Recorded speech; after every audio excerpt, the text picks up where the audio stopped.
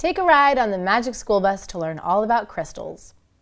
Hi, I'm Laurie from TTPM here with the Magic School Bus Rides Again Growing Crazy Crystals Science Kit from the Young Scientists Club. Based on the Netflix series, there are 12 experiments for kids to complete, from comparing the shapes of salt and sugar crystals to making rock candy. There's space for kids to record their observations and a helpful parent guide in the back of the instruction booklet. Though this comes with a lot of tools, you will need some tools and ingredients from home. Those will be denoted by a house symbol at the beginning of each experiment. Adult supervision will also be required as kids ages 5 and up complete the experiments. And you'll need patience.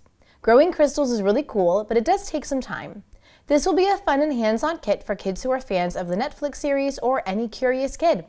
Characters from the show guide kids throughout each experiment and do so in an easy to understand way, helping kids see that science can be fun. For where to buy and current prices, visit TTPM and subscribe to our YouTube channels for more reviews every day.